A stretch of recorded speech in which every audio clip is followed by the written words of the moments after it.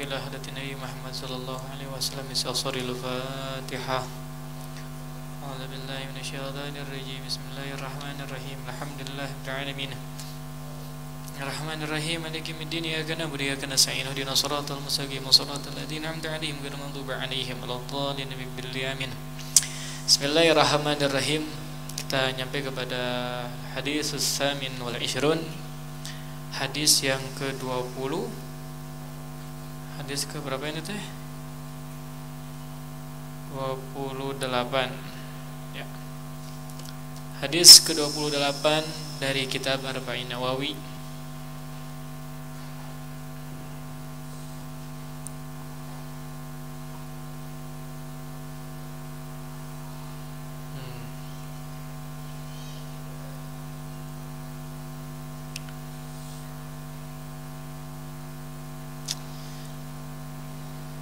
An Abi Najih Al-Irbad bin Sariyah radhiyallahu taala anhu gol Diriwayatkan hadis yang ke-28 dari kitab Arba'in Nawawi daripada sahabat Abi Najih yang bernama Al-Irbad bin Sariyah radhiyallahu taala anhu.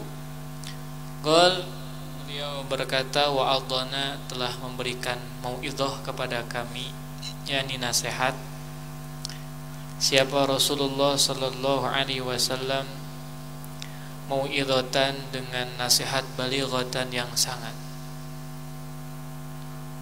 Wajilat menjadi takut minha sebab itu nasihat apa? Al-qulubu hati. Walarafat dan menjadi bercucuran minha karena itu nasihat apa? Uyunu air mata Fakulna kemudian kami berkata, Ya Rasulullah, wahai Rasulullah Sallallahu Alaihi Wasallam, kaannaha seakan-akan ini nasihat mau idatu muwaddain adalah nasihat orang yang mau pergi. Wada yang mau pergi. Fausina maka wasiat berilah wasiat kepada kami. Qala kemudian Nabi berkata Usikum aku memberikan wasiatkum kepada kalian Allah dengan bertakwa kepada Allah. Wasam'a kemudian mendengarkan wa dan taat. Wa in ta'ammara sekalipun menjadi pemimpin alaikum atas kalian siapa abdun habasyiyun budak Habasyi fa innahu karena sesungguhnya keadaan man ya'ish siapa orang yang hidup mingkum di antara kalian pasayara maka dia akan melihat ikhtilafan katsira perselisihan yang banyak. Fa'alaikum maka senantiasalah bagi kalian bisunnati dengan sunnahku.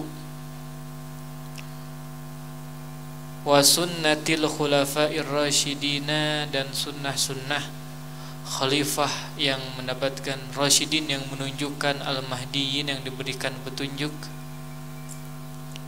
Abdu gigitlah oleh kalian alaiha itu sunnah bin nawajidi dengan gigi-gigi geraham kalian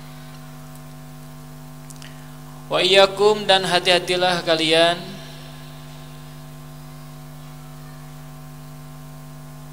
Wa muhdatsatil umuri dan hati-hatilah kalian kepada perkara-perkara yang baru. Fa inna kulla muhdatsatin karena sungguhnya perkara yang baru bid'atun adalah bid'ah. Wa kullu bid'atin dan setiap yang bid'ah itu dolalah adalah se sesat Rawahu Abu Dawud wa Tirmidzi wa qala hadisun hasanun sahih. Ya alhamdulillah kita masuk kepada pembahasan sebenarnya pernah saya bahas dulu ya di tatkala ngaji di sana tentang penjelasan yang berkenaan dengan hadis ini. Itu kan yang ngaji pasti tahu. Kemudian saya kasih juga hadis-hadisnya bahkan ditulis hadisnya ya jadi tinggal dilihat kembali ya. Kita lewat saja berarti ya.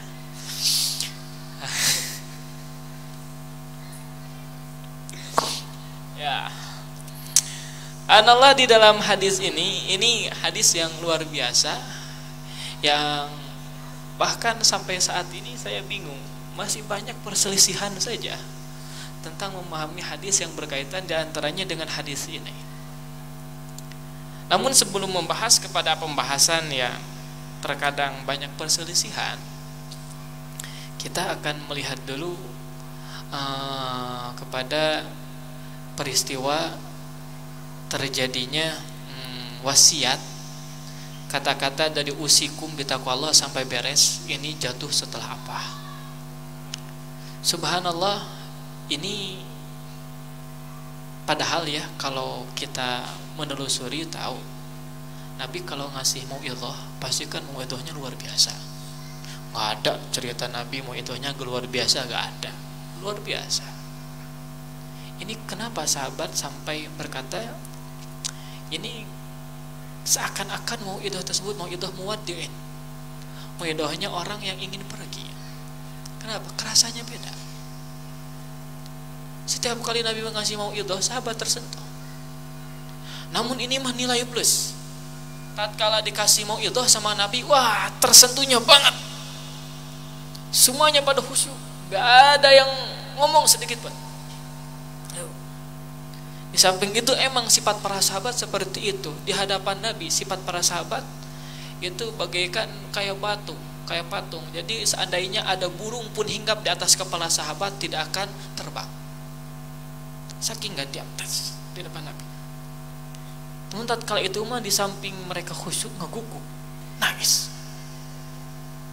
Nangis semuanya. Tersentuh dengan nasihat nah, dan kerasanya beda. Ini seakan-akan kayak mau itu perpisahan gitu pak sedih mereka. Akhirnya minta wasiat kepada na, Nabi.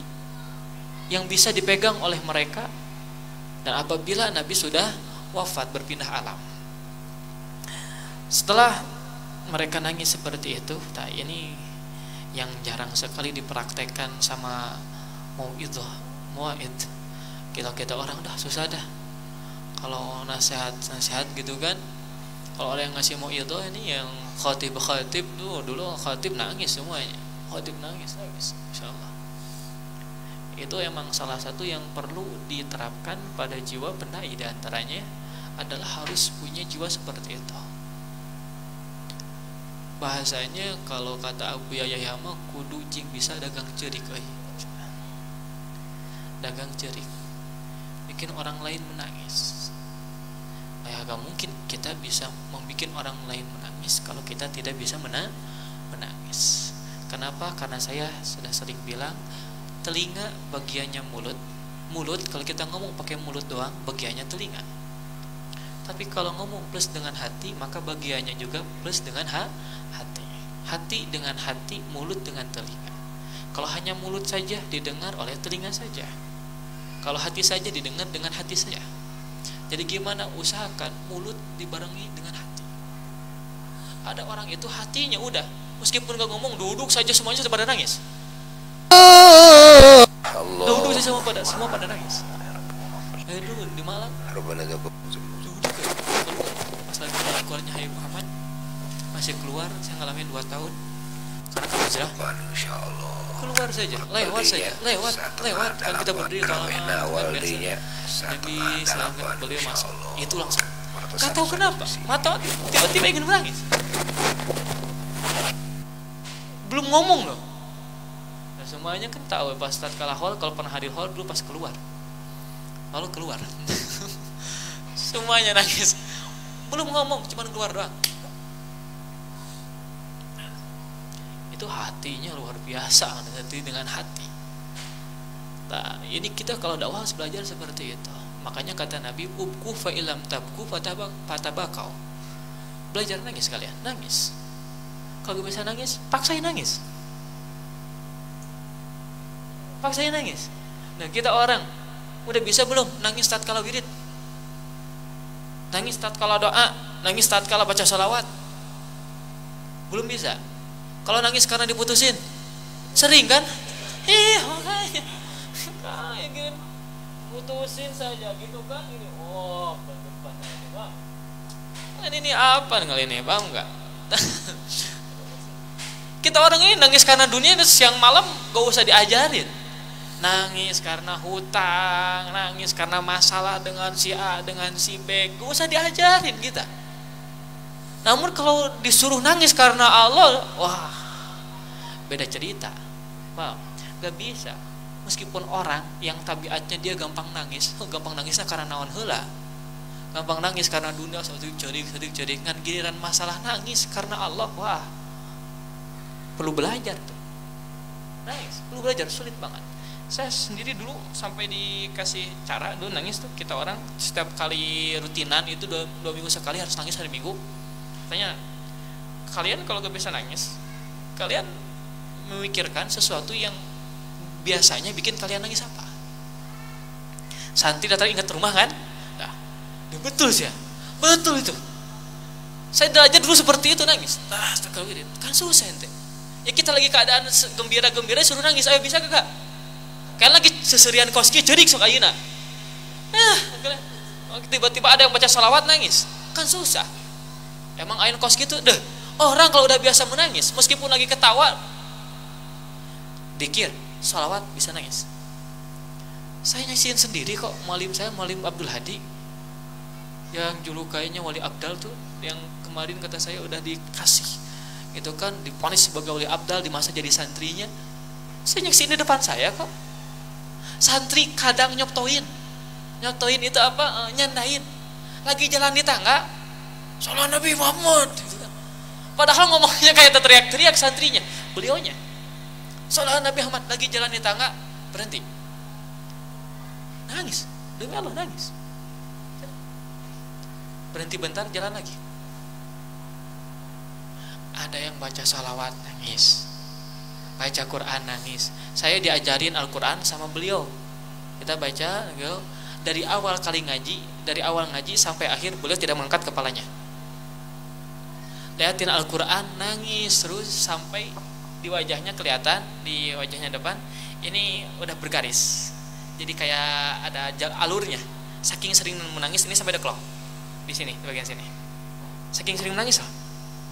Orang lopatek bekasnya bekas naon lah gitu kan lopat tanah tanah tanah orang tanah jerawat tanah naon. Walau gak ada bekas nangis. Nah gitu kan orang segala dipaksakan si mau puji min asari sujud gitu kan paksakan digosok-gosok kan hidung gitu kan. Aduh emang na ali bacan gitu kan? Bukan mam. Nangis.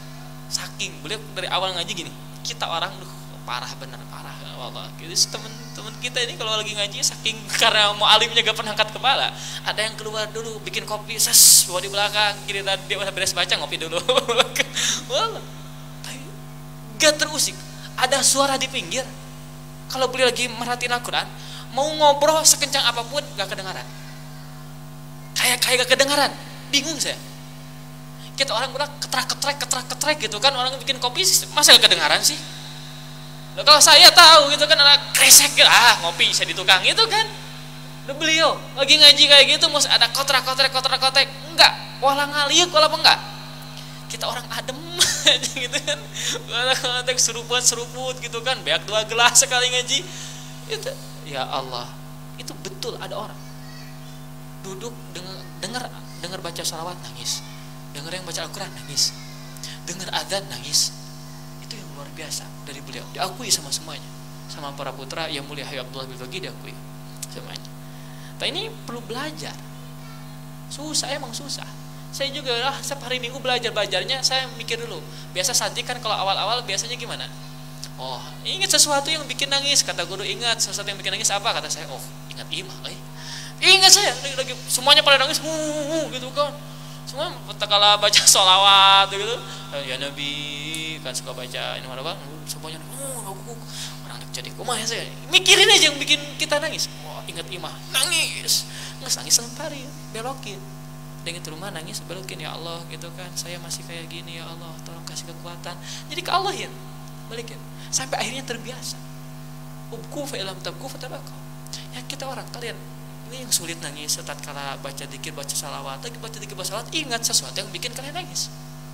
Apa aja ingat orang diputuskan ke anu oh, jadi deui pek dikir sia itu kan lempari nangis ya Allah saya diputusin sama si bulan ya Allah nyeri hati. Ya Allah ya Allah. Apa gitu datangkan lagi yang lebih baik ya Allah. Gitu kan. Zen dan belajar seperti itu. Ingat hutang kayak ingat apa kayak gitu kan. Tapi kepada Allah. Jangan hanya karena ingat hutangnya doang curi gitu kan. Nggak ada pelemparan kepada Allah. Ingat hutang kembali kepada Allah. Nangis. Belajar. Ini sahabat kalau dengar nasihat nangis. Berjujuran ini orang-orang yang luar biasa. Dah kita orang udah dah. Sulit sekali ini latihan mana menangis. Ini ada pelajaran masing masing latihan menangis. Fakulnya ya setelah para sahabat seperti itu ya. Awal seperti itu mendengar apa mau Nabi akhirnya minta wasiat. Dan wasiat dari Nabi otomatis kata-kata wasiat berlaku sampai kapan pun meskipun sudah meninggal ya itu namanya wasiat. Paham tidak? Gimana wasiatnya? Usikum di takwa Allah. Pertama wasiat yang perlu diterapkan ini ya takwa kepada Allah. Karena dari zaman dulu sampai zaman sekarang takwa itu berlaku. Takwa itu berlaku. Nggak ada yang hanya ke zaman para sahabat orang mau ah nggak setuju zaman takwa amah gitu kan. Kata siapa? Ini takwa berlaku di setiap masa yang namanya takwa berla berlaku. Paham? Kemudian apalagi wasam'a wa ta'ah mendengarkan taat kepada pemimpin. Sekalipun yang jadi pemimpin adalah Abdul Habashi orang yang hitam gitu kan. Kita harus taat mendengarkan kepada pemimpin. Eh dengar ajaran mana? Kalian memponis enaknya aja gitu kan ajaran Islam mengajarinya supaya membelot dari pemerintahan mana? Isma had hadis. Dengarkan hadis ini buka dong aja rebain. Kekelihatan tak? Nabi menyuruh orang Islam ini taat kepada pemerintah. Ajaran mana? Kata siapa? Kalian semuanya memponis bahwa ajaran Islam mengajarkan apa? Untuk membelot dari pemerintah. Gak ada. Wasam'a wa ta'ah. Dengar taat gitu kan? Namun ada batasannya. Batasannya bukan berarti membela secara kesan enggak. Lewat penjelasan hadis yang lain. La ta'ata lima khlukin bi maksiatil khalik gak boleh taat bagi makhluk siapa pun kalau disuruh maksiat. Ya kita taat kepada pemerintah tapi kalau pemerintah nyuruh kita maksiat ya kita kata kalau seandainya, kalau seandainya gak nurut tidaklah masalah maksiat itu doang. Masalah yang lainnya kita tetap nurut. Kesalahan kita, kesalahan kita juga terkadang seperti ini karena memerintahkan satu gitu kan, perintahnya salah, akhirnya dimutlakan 100% apa pun yang diperintahkan gak usah diikuti, nggak bisa. Yang nggak boleh itu fi maksiatin. Kalau giliran yang lainnya kalau bukan maksiat jalankan, kita taat. Nah, tapi kalau dia suruh berzina, kalau disuruh berzina, kalau seandainya suruh minum khamar berzina, oh, alafu. Mohon maaf, kita tidak akan taat. Tapi kalau disuruh yang lain gitu kan, kebaikan, kemaslahatan, kita taat. Akan, gitu kan, disuruh PSBB, ya, taat. Lockdown, taat. Tapi kalau disuruh maksiat, apa? PSBB kita taat, gitu kan? Kan bukan maksiat, gitu kan? Oh itu nyuruh ke boleh Jumatan gitu kan ya gak boleh jumatan gak boleh jumatan di masjid paham? Karena ada kemaslahatan ada maksud yang lain. Pemerintah gak mau nyuruh kita meninggalkan sholat. Kan sudah saya katakan gak mau nyuruh meninggalkan sholat sholat. Uh, itu kan gak, gak, gak taruh taraweh di masjid gak salat taraweh di gak salat taraweh di gak salat gak salat taraweh di di masjid. Apakah melarang sholat taraweh di rumah Karu kalau pemerintah ngomong temenang sholat taraweh, temenang puasa. Pemerintah ngomong apalagi gak boleh sholat tuhur gitu kan, sholat jumat plus sholat tuhur temenang karek. Baru saya tidak akan tahu. Ini kan karena mulai ada kemaslahatan yang lain.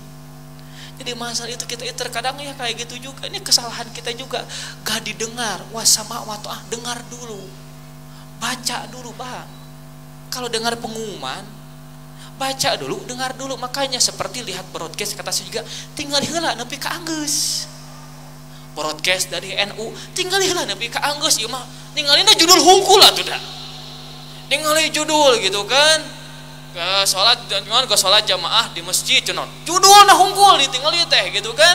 Gak dilihat pemerinciannya kayak gimana kata ulama melihat tempatnya kayak gimana tempatnya dulu harus dilihat. Nggak dibaca cuma judulnya doang. Judulnya doang akhirnya yang dibaca judulnya doang dia berada di pedalaman gak ada orang yang keluar gak ada orang yang masuk tuli eren sholat jumatan non. Cek NU gitu kan nggak ada cuma nggak boleh jumatan bahaya deh. Kamu lihat judulnya doang gitu kan? Lihat sampai be sampai beres tuh jumatan gitu kan? Gak ada jumatan di masjid dan judulnya hungkul kan dia titah sholat duhur. Penggantinya kalau seandainya di tempat yang berbahaya ada iya lain tinggal judulnya tuh kan menang sholat. Cek ya Allah. Isma kan wasama wa ta'ah. Dengar dengar dulu. Kenapa dengar kemudian taat. Kenapa? Karena orang kalau taat tanpa dengar dulu tah gitu banyak salah. Salah kaprah baru dengar gitu dengar judulnya doang langsung dikerjakan. Hati-hati.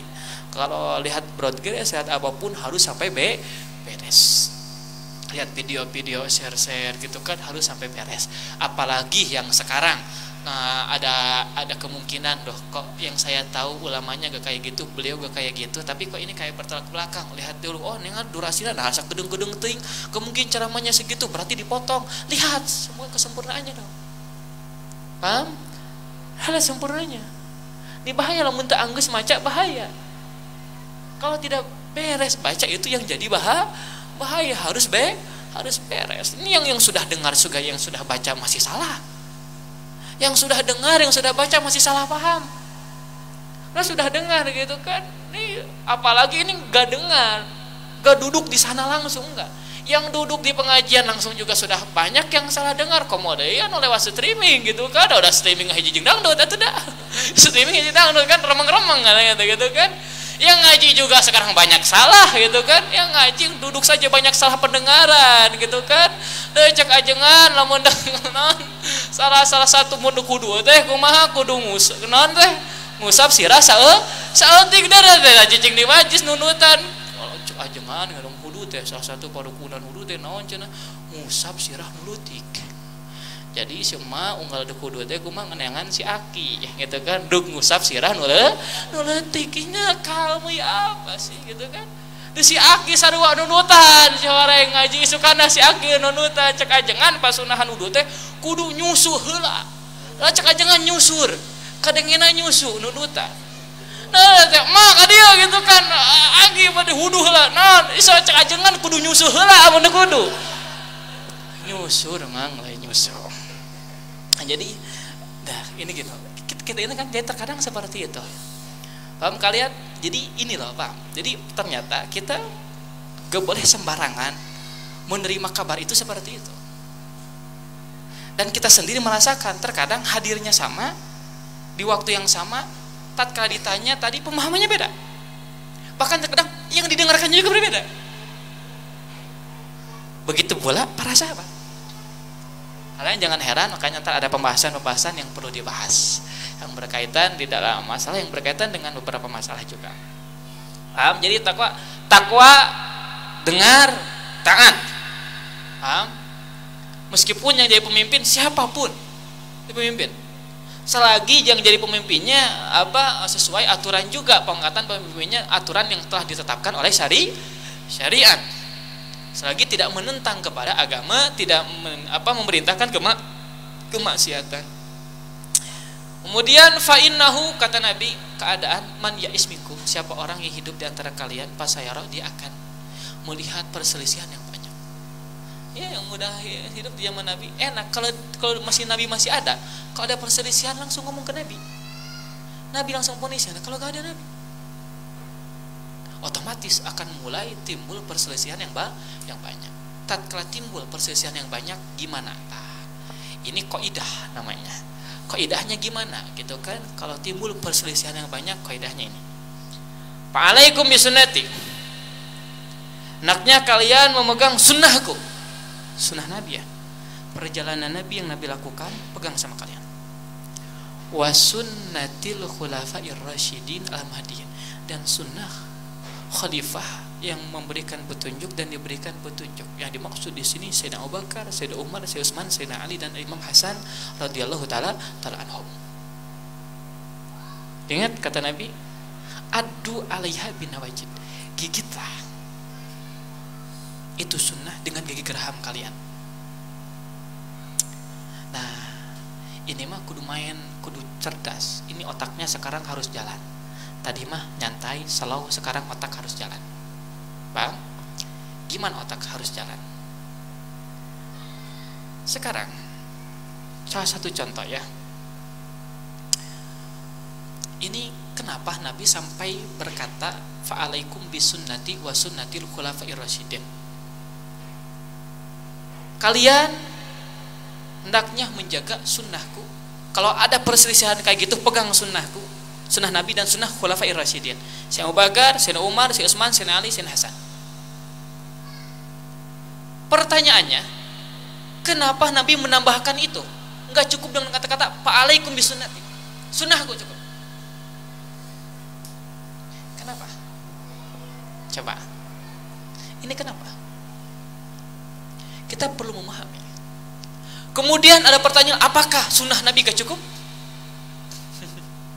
Sekarang suka ada pertanyaan, oh Sayyidina Abu Bakar, ini kan Sayyidina Abu Bakar, oh Sayyidina Umar bin Khattab saat tarawih jamaah di masjid, kemudian 20 rakaat gitu kan. Bukankah cukup Nabi gitu kan? Lihat Nabi seperti gimana, sholatnya berapa rakaat gitu kan? Udah ikut aja Nabi, ngapain ikuti Sayyidina Umar bin Khattab? Emang Nabi kurang tah? Emang Nabi kesempurna ibadahnya? Itu salawat gitu kan. Salawat contohkan sama Nabi seperti apa? Kenapa ada salawat di bil gulub gitu kan? Kalian menambah-nambahkan berarti mengatakan sekarang salawat dari Nabi tidak sempurna. Kamu seakan-akan mengatakan Nabi itu gak sempurna. Ayo bukankah Allah berfirman dalam Al-Quranul Karim al yauma akmaltu lakum dinakum. Dan al yauma pada hari ini aku sungguh telah menyempurnakan bagi kalian agama kalian. Bukankah sudah sempurna taraweh. Jamaah pakai imam. Ya kan harus lihat dulu. Kemudian 20 rakaat. Lihat dulu. Oh di Bukhari. Tengok di Bukhari muslim. Berapa? 8 rakaat tuh. Itu kan 20 rakaat kalian. Ikuti Rasul ikuti siapa kalian? Mana ini? Nah ini kalian harus cerdas. Kalian pikirnya kayak gini pak ini kenapa coba? Nabi mengatakan di dalam hadis sahih di sini. Ini juga hadis sahih dengarkan dulu hadis sahih ini dong. Ini kaidah, kaidah bab. Ini kan perselisihan. Ini perselisihan semuanya. Ada yang ngomong 28, ada yang ngomong berapa lagi terserah kalian. Intinya mah uh ngomong dua, bukan nama riwayat dua gitu kan. Paling saeutik hapek teh teuing ada bisa nangan sakit mah itu jadi masalah ngan eueuh hadisna dua mah. Oh, paham? Sekarang ini kan perselisihan kaidahnya gini ikuti sunnah Nabi. Kemudian apakah hanya berakhir di sana? Enggak. Wasunnatil khulafa rasyidin kenapa Nabi menambahkan sunnatil khulafa rasyidin kalau seandainya sekarang gitu kan gak boleh. Gak boleh. Ngapain ikuti Sayyidina Umar? Sayyidina ngapain ikuti Sayyidina Utsman Sayyidina Ali. Cukup ikuti Nabi. Cukup ikuti Nabi aja udah paham Nabi kayak gimana? Berapa rakaat ikuti Nabi. Ngapain ikuti sekarang sahabat? Nabi dulu yang harus kita lihat. Eh kalau seandainya gak boleh mengikuti yang lainnya Nabi kemungkinan mengutarakan seperti ini. Alaikum bisunnati wa sunnatil khulafa'ir rasyidin al-mah al-mahdiyyin Oh kan? Oh bisa jadi gitu kan? Kan Sayyidina Umar bisa jadi salah. Kalau kamu salah berarti kamu mengatakan Nabi ngomong kayak gini Nabi gak tahu Nabi ngomong seperti ini, ikutilah sunnahku dan sunnah Khalifah Rasyidin.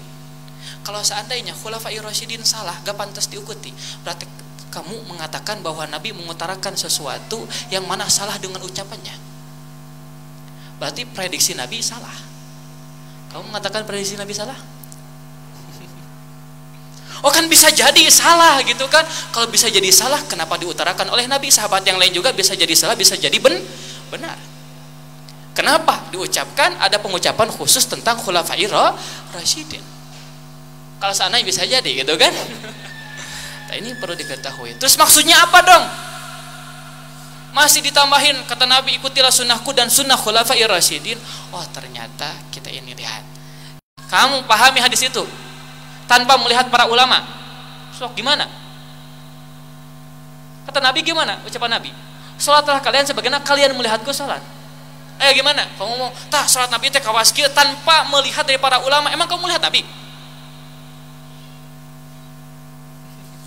Kamu langsung melihat Nabi? Lah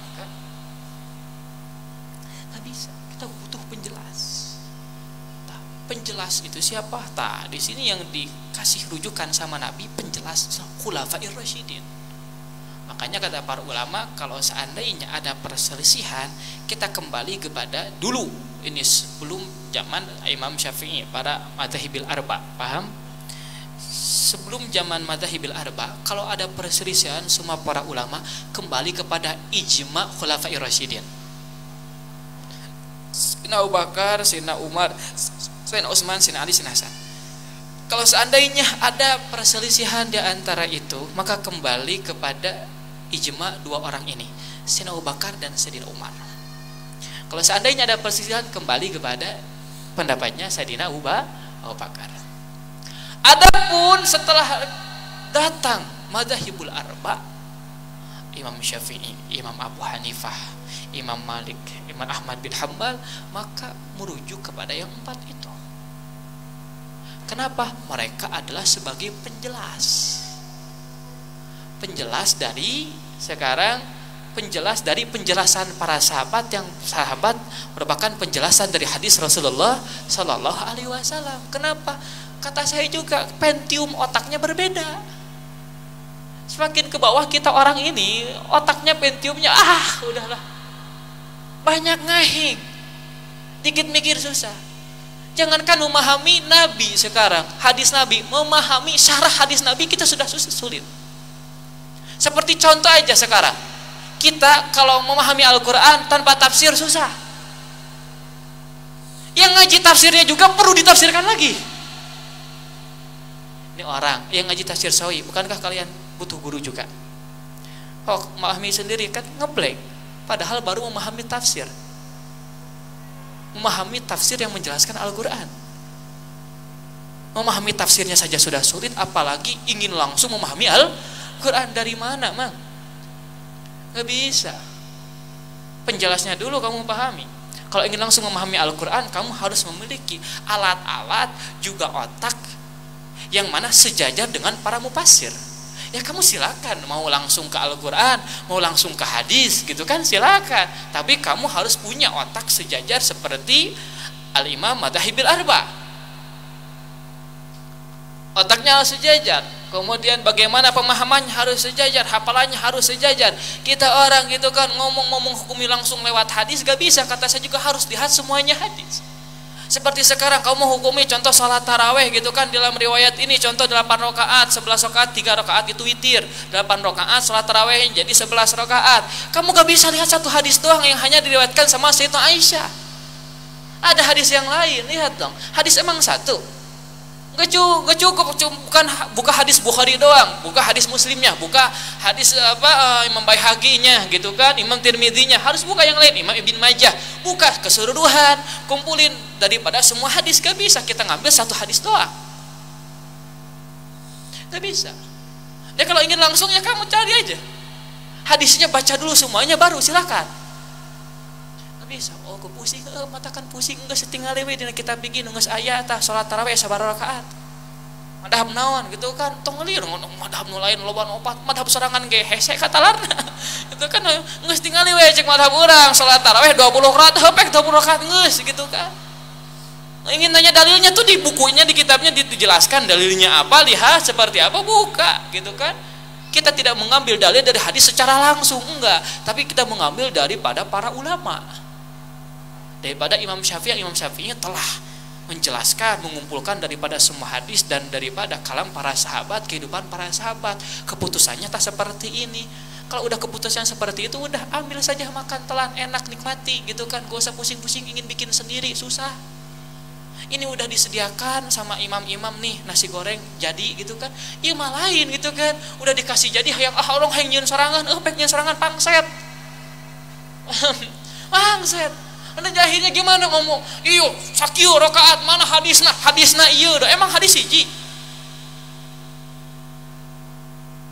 emang hadis satu langsung aja main ke hadis gitu kan main ke itu aja emang kamu cara memahami hadis itu seperti apa sih Terus, oh iya hadis sahih, saya ingin nanya hadis sahih itu apa sih?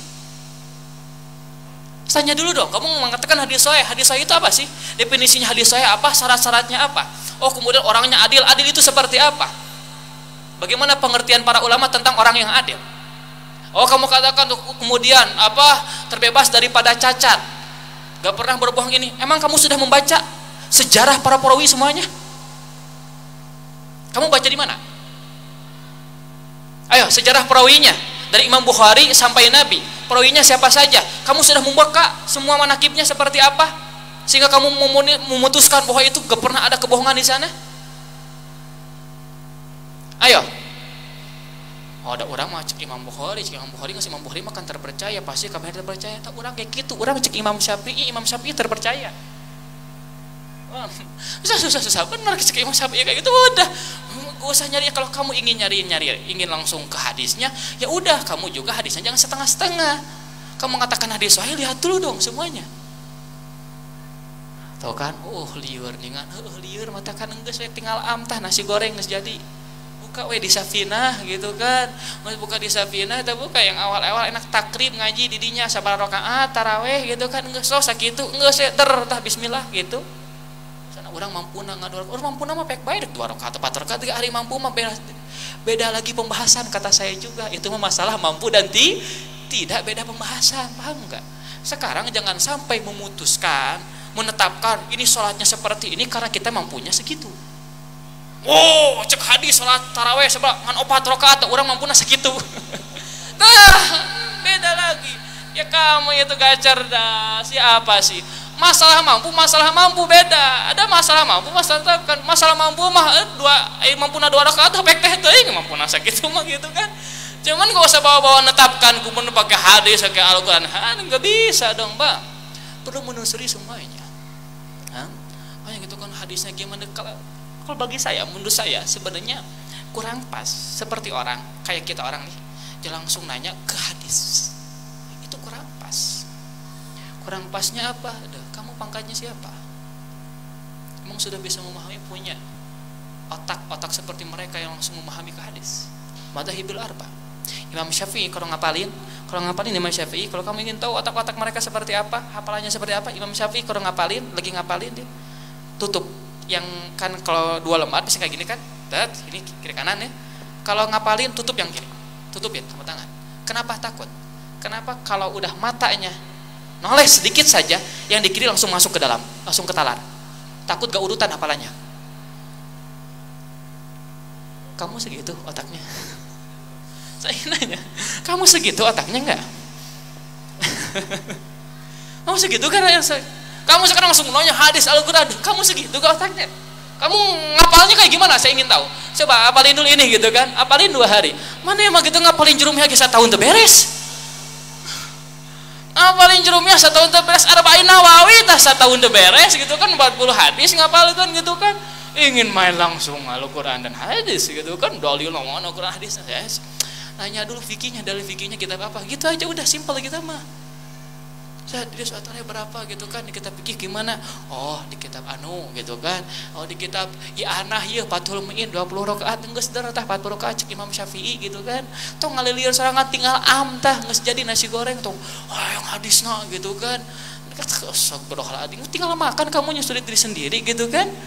Itu emang tinggal am geus am tah gawean lain. Sama Imam Syafi'i nih kamu tinggal makan nasi goreng soalnya apalah mana mah jelema sibuk gitu kan loba urusan urusan dunia gitu kan. Geus gitu kudu mikir-mikir kalah am nasi goreng geus gitu oh kasab deui juk bismillah. Eh malah ngulek we dirinya nah Al-Qur'an hadis Al-Qur'an hadis. Tuh diculkeun kabeh bagawean gitu kan. Nah geus dibere insan ku para imam teh gitu. Pek tinggal ame geus 20 rakaat ter bismillah gitu kan. Selawat witirna sabelas 11 rakaat. Anu Abdullah mah ngan bisa nasa rakaat pek teh teuing kumaha maneh eta mah kalau sekandainya bisanya seperti Ustaz tapi saya bisanya 8 rakaat terakhir pek teh. Teuing ada bisa nasa gitu terjadi masalah. Ngantong nepi ke wah pokoknya masalah lah anu 20 mah gitu kan. 8 rakaat bener cek hadisna geula kalian.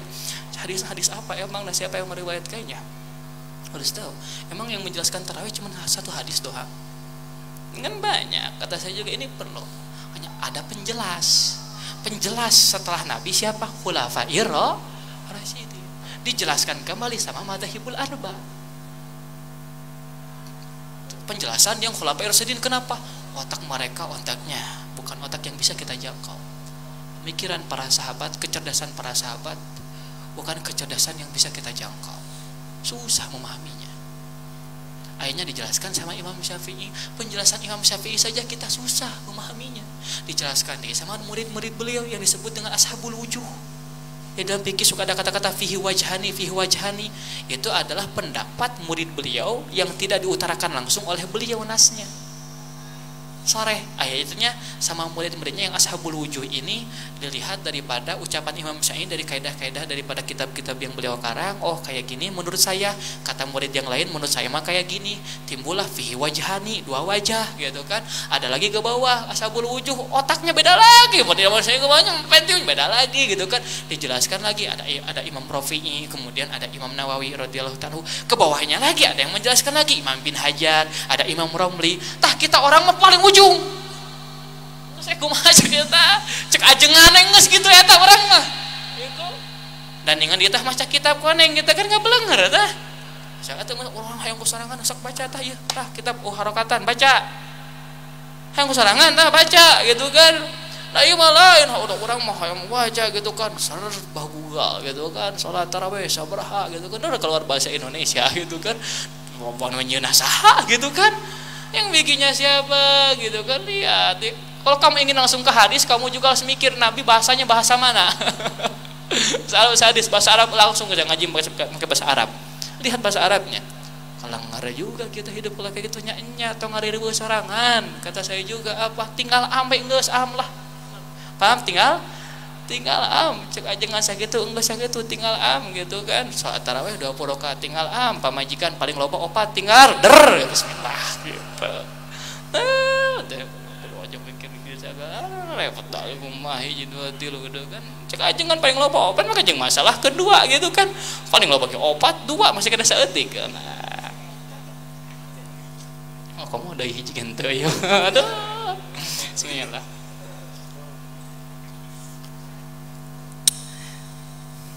Paham? Fa'alaikum bisunnati wa sunnatil khulafair rasyidin. Kalau seandainya oh ngus-ngus kan Nabi hunkul kata saya juga gak akan ada timbul ucapan bisunnatil khulafair rasyidin. Kalau seandainya hanya kepada Nabi kemudian kenapa Nabi ngomong kayak gini berarti Nabi ngomong percuma-cuma gitu kan? Gak ada artinya. Kamu katakan Nabi seperti itu? Kamu berani mengatakan Nabi ngomong percuma? Bukankah di Al-Quran sendiri telah dinaskan nama yang tiku anil hawa in huwa illa wahyun Yuha. Ayo berani, silakan mau ngomong seperti apa? Lihat dulu dong ijmanya seperti apa ya. Semuanya juga perasaan. Semuanya sholatnya 20 rakaat Imam Syafi'i, Imam Malik gitu kan. Semuanya. 20 rakaat pendapatnya buat cari ahli Madinah ada tambahan ahli Madinah khusus ahli Madinah gitu kan. Ini orang ya Allah Bismillah lah Bismillah. Adu alaiha bin nawajid. Gigitlah dengan gigi geraham kali kalian. Paham tidak cara menyikapi seperti itu perlu dipaham dipahami. Nah, lah pokoknya mah tinggal makan am gitu kan tong ada ribu serangan ada perasaan uh, bingung saya yang diperdebatinya itu itu terus. Uh, kalau uh, kalau masuk Ramadan berdebatin rokaat perasaan udah berapa periode? Gitu kan. Itu perdebatan gak ada akhirnya. Bingung saya paham gak masih ada yang nanya gak zaman? Masih ada yang nanya sekarang salat tarawih berapa rakaat? Masih udah gak zaman nanya seperti itu paham Nah, derai bismillah gitu, udah gak jawab lagi nanya-nanya seperti itu sekarang ya Allah. Dari jam 2 sampai jam sekarang bismillah bakal nama. Oh, kamu maunya 8 rakaat, pek gitu kan terserah kamu. Saya mah maunya 2 rakaat. Soalnya non ibadah hayang seetik hayang loba gitu. Eh, orang ngomong ayeuna loba meulih nu loba. itunya sok katanya mana mana boga pamajikan yang hiji yang opat gitu kan do yang opat kan oh usah abi mah yang hiji bohong mana hayang hiji teh sini carekan beda dari hayang mah opat geus sih aduh jadi karena kawin tuh ingkiasna teh da ka mana we yang penting sarua lah bang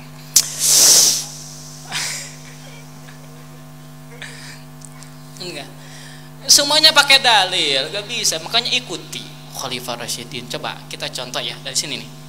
Ini lihat, ada satu kejadian yang luar biasa menandakan madhahibil apa uh, ulama yang khulafa'i Rashidin pantas dijadikan rujukan itu pantas. Kenapa pendapatnya berdasarkan ilmu? Jadi ilmiah? Bukan berdasarkan hanas ilmiah. Dulu ada seseorang di zaman Nabi, dia sumpah. Sumpahnya apa? Tidak akan menyetubuhi istrinya bahasanya hinan. Satu hin. Ya Allah ya, sumpah kepada Allah tidak akan menyetubuhi istrinya hin. Satu hin. Hinan.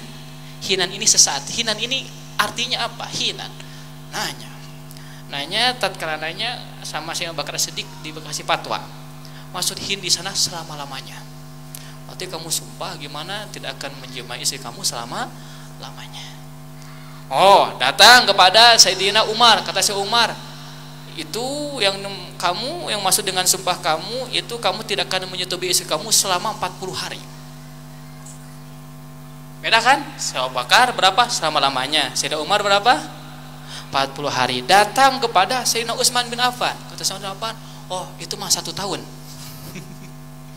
Yang satu tahun. Mas beda ada ya datang kepada Imam Ali kata Imam Ali ah eta mah sapoe saputing maksudnya sumpah kawas gitu teh moal nyetubi sapoe sapu saputing ayeuna isukan mah bismillah kata kan nah ayo ini kan beda-beda semuanya coba berbeda-beda seperti ini dipanggil sama Nabi. Empat-empatnya dikumpulin. Empat orangnya dikumpulin.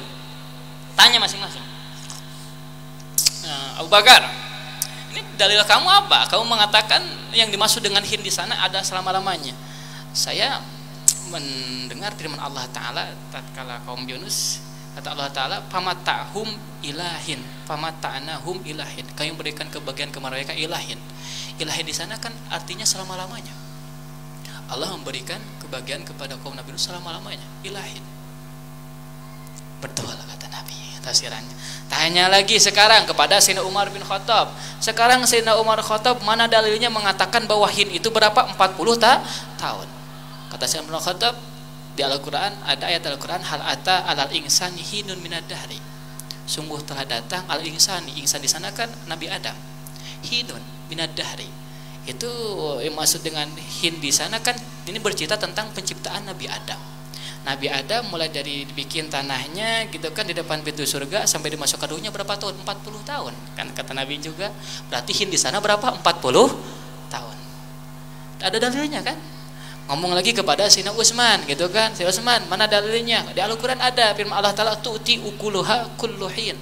Yang namanya pohon kurma berbuah itu kulluhin, setiap hin hin di sana berapa? Coba pohon kurma berbuahnya berapa? Satu tahun satu kah?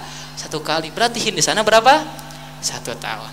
Nanya kepada Imam Ali, tanya Imam Ali, mana dalil kamu hin? Oh, di Al-Qur'an ada pas subhanallah hina tumsun wa hina tusbihun. Tuh kan? Tasbih kepada Allah hina tumsun hina tusbihun. Pagi dan sore. Pagi berapa jam, malam berapa jam, sore kan sampai malam. Semua kalau dikumpulkan berarti satu hari. Hin di sana berapa? Satu hari. Sedakta. Akhirnya Nabi bersabda, "Ashabi kan nujum bi aihim iktadaitum ihtadaitum." Sahabat-sahabatku semuanya laksana bintang. Dengan bintang mana saja kalian mengambil petunjuk, kalian akan mendapatkan petunjuk. Ayat dalilnya. Bang. Jadi sahabat itu melakukan sesuatu ada dalilnya ya kamu orang dalilnya mana? Eh dalilnya mana gitu kan? Ya udah kalau gitu ya udah sekarang. Supaya gak pusing ya udah ikuti aja gitu kan. Kamu ajak ajangan kata ulama. Dalilnya aku mah ulama saya mah. Oh dalilnya kan madhab udah dalilnya cek imam lihat madhabil arba 20 rakaat deh ke madhabil apa 20 rakaat gitu kan. Kamu salahnya mana dalilnya ayo mana dalilnya gitu kan. Oh kata mau oh kan ayat ada itu serah kalian. Karena makanya kata sih kalau mampunya seperti itu sholatlah segitu silakan mau yang 8 rakaat ke 20 rakaat ada yang mampu 2 rakaat ada yang 4 rakaat ada yang 6 rakaat 8 rakaat ada yang 12 rakaat silakan kalian intinya gimana gak usah ngomong oh cek Al-Quran hadis udahlah gak usah langsung ngomong ke Quran hadis cek pikir aja gitu nah Waalaikum bisunnati wa sunnatil khulafair rasyidin. Kemudian selanjutnya kita membahas wa iyyakum muhdatsatil umuri. Adapun kalau masalah seperti tarawih yang seperti itu kalau ingin dibahas harus ada bab khusus. Harus kita sebutkan semua hadisnya, bukan cuma satu hadis doang. Yang mengatakan Nabi SAW tarawih riwayat Sayyid sampai 11 rakaat, 8 tarawih, 3 witir gitu kan. Itu kayak gimana dong? Bukan satu hadis, harus dibaca semua hadisnya. Ada itu kita akan ntar insya Allah akan kita baca itu mah cuma 9 kaca 9 kaca 9 halaman doang 9 halaman doang dikit tuh kita hadis-hadisnya semuanya apa terus cara pemikirannya seperti apa. Insya itu mah harus dibahas di pengajian hu khusus. Kan sekarang kita sedang membahas hadis arba arba'in bukan masalah ngebahas masalah tara taraweh. Sekarang ngebahas masalah makan nasi goreng nunggu jadi Bismillah. Itu bener teh nggak usah masa kalian pada maghrib sholat jamaah yang penting di sana makan Bismillah gitu kan. Tuh ngarirewa serangan hayang neangan panci jitel neangan beas serangan. Nggak ayah gratis dirinya tinggal am gitu kan. Seperti itu dinikmati sah, saja bang. Insya Allah kita akan bahas ta. selanjutnya pengajian selanjutnya di dalam bahas muhdasatil umuri kita akan bahas kembali. Tentang muhdasatil umuri dan kullu bid'atin dolah fin finnar bid'ah apa saja, muhdas itu apa aja, definisi secara mata hibil arba itu gimana gitu kan.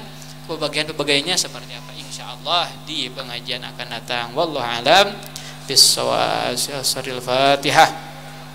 Bismillahirrahmanirrahim. Alhamdulillah bil alamin arrahmanir rahim malikin biddin iyyaka na'budu iyyaka nasta'in ihdinas siratal mustaqim siratal ladzina an'amta 'alaihim ghairil maghdubi 'alaihim waladdallin amin